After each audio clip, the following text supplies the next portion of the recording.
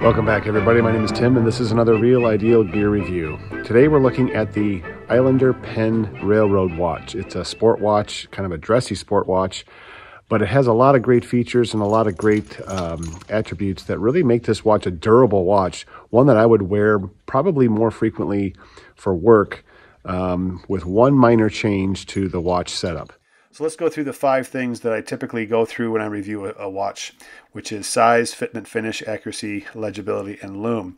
So as far as the size goes, this is a smaller diameter watch. So those of you with a smaller wrist will find this very uh, watch friendly to your wrist. For people with extra small wrists, I think this might be a, an option for you, although the strap um, does not have the holes to necessarily hold the watch onto a very small wrist.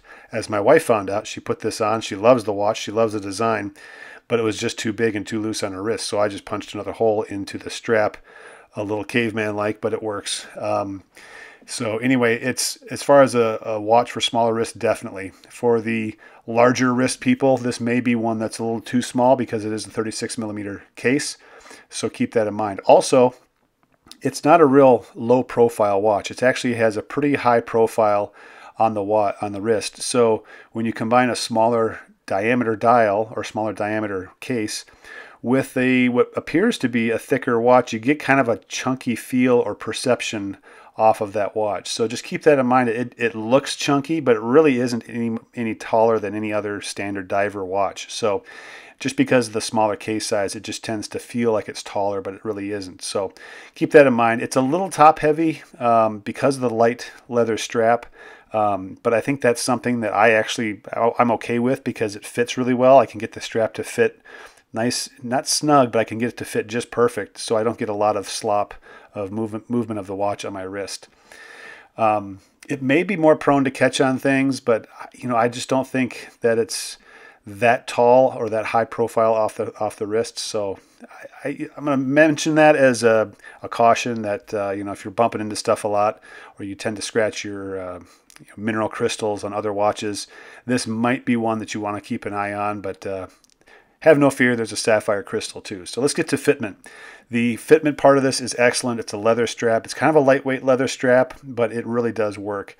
The adjustments on the strap are great. Um, they're the right increments in my mind between the holes of the strap, so I think you can get some really good fine tuning of the watch onto your wrist. It is thin leather, so keep that in mind. Um, so the fitment also I think applies to the case because it's a smaller sized case. I think you're going to find a sweet spot on your wrist a little bit a little bit easier. As far as the finish goes, uh, the brushed sides on this watch really lends itself to that sport watch um, opportunity. Um, the polished bezel gives it some class, uh, gives it some finish, gives it some polish, gives it, I don't know, just kind of a, a little more formal look to it. So it really does have this hybrid, like you could wear this to a semi-formal event or or outing or whatever it is. Um, it does have a little dressier look to it. So it's that sporty or a dressy, sporty kind of a watch to it. It does have a sapphire crystal, which is awesome. And I mentioned that what seems like a higher profile but with a sapphire crystal, you can kind of you know breathe easy because your crystal is not going to be as scratched as easily with the sapphire there. So that's awesome. The display case back is cool. I'm not a huge proponent of them because I just don't spend a lot of time looking at them. Um, so because mostly because that's the side that's against the wrist. So I just don't uh, I don't want to spend a lot of time looking at a, a display case back. The other thing to this is the finish on the crown. The crown is excellent. It has the right size, it has the right texture to it.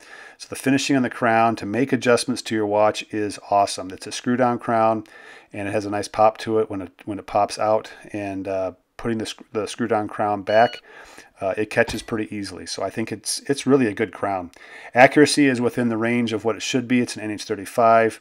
I'm not seeing any change in the time grapher. You'll see some video of me doing some pistol shooting And I, I do that because there's there's an impact to that uh, that activity when I'm wearing the pistol and you know the recoil of the gun and that. So this really does a good job of testing. And I've had some other Chinese watches that have not made it through some similar types of activities like chainsawing because I do a lot of firewood gathering things like that. So I do try to have some moderate impact or moderate vibration type things or activities that happen with these watches to test their accuracy. And so far, no change, um, no need to regulate the watch as of yet. It's a quality movement. So moving on to legibility and lume. This is a high contrast dial. I love the dial. Um, the design of this, Marc at Islander and whoever else was on the design team did an outstanding job putting this one together. So I kudos to those guys. The, the team that put that together did an awesome job. Um, I love the rectangles, you know, between the hour markers, and just it gives that railroad track look to it. Um, the theme of the watch really fits really well. The handset, the seconds, the minutes, and the hour, perfect size hands. Um, easy to see. the legibility of those hands is phenomenal. I really don't have any issue with those hands with my reading glasses off. I can read the time no problem whatsoever. And even this being a 36 millimeter diameter case, because keep in mind this compresses everything, makes things a little smaller, makes the hour hand and minute hand just proportionally. You're going to have to shrink things down a little bit as a result of a smaller dial. So the, again, the design team did an awesome job. Talk about the the lume. This is, I think, one of the disappointments of the of the watch is the lume. It's average at best. Um, I wish it was better, but it doesn't last as long as I thought it would last. Um, you know, four or five in the morning, yeah, I can kind of see the minute hand. The hour hand, I have a hard time seeing, and this is a this is the other complaint I had. There are two complaints. The other complaint is the hour hand. I can just see the tip of it when it's fully lumed up, when it's fully charged up with light. Um, I just see the tip of the hour hand, and it's it's similar in size to the second hand, although the second hand is moving much faster, obviously. So, but with reading glasses off, um, it's difficult to see the hour hand, and so that's a that to me if they'd have just moved the lume further towards the center so I could see some of the width of the hour hand over the lume, I think it'd be a fantastic adjustment. So if they have the ability, if you guys have the ability to make that adjustment, that would be my my recommendation is to move that lume closer to the center so that the hour hand is easier to read in the uh, low light lumed uh, context. So the hands stand out pretty good. I, I really like that. Uh, the lume is, is average at best. Just kind of sum that up. I think it could be better. Um, a few more things, just kind of general conclusions about this. This, this is a classic design, kind of a 20th century design. Love the high contrast. It's easy to operate. It's a really easy watch to wear. The strap is great. The crown is great. The weight is great. Um, it's just it's an easy reader. Um, some of the the features about this that I like is the 100 meters of water resistance. So there's no need to worry about water. Wearing this, you know, showering, bathing, swimming, scuba diving, snorkeling, you know, scuba diving within reason. This is not a dive watch, but 100 meters of water resistance is a significant depth. So I would have no issues with snorkeling for sure. The display case back is cool, not a high priority for me, but if you like a display case back, that's kind of a cool thing. The sapphire crystal is a must with the the profile of this watch above the wrist. You really need to have a sapphire crystal, which it does, and it's great. Great movement, 20 millimeter straps for swapping things out. It has a nice big crown. The lume dial it's easy to read, and again, the unique design of this I think is fantastic.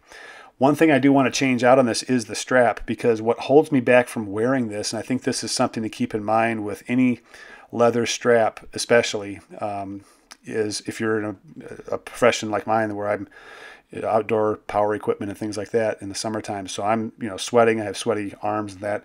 It just it's not good for leather. So I'm looking for a metal bracelet. And if anybody has any suggestions on a 20 millimeter metal bracelet that tapers, because I have one right now that's a 20 millimeter that doesn't taper and it just doesn't look right, partly because the case is small. So it just needs to, to taper relatively quickly off of the lug bar. So um, that's what I'm looking for. If you have any ideas, put those in the comments down below. Let me know what you think. Um, but I would really, I think I would wear this watch more if it had a metal bracelet. So I'm on the prowl for a metal bracelet. So overall, the score on this watch is a 9 out of 10. I think this would be an easy 10 out of 10. One of the few watches well, there you have it, everybody. score a 10 That's out of the review for the Islander Penn watch. It's a great watch. Highly recommend it. It's one that I recommend for everyday use. It certainly has a sporty look to it, but also has a classical look to it that I think is what attracted me to this watch with the full lume or a partially lumed dial, which I'm always uh, a sucker for. So leave your comments down below and like and subscribe. Let me know what you think. And uh, let me know what other watches you have that uh, I could be doing a review for. That'd be great. So until next time, my name is Tim. This is another Real Ideal Gear Review.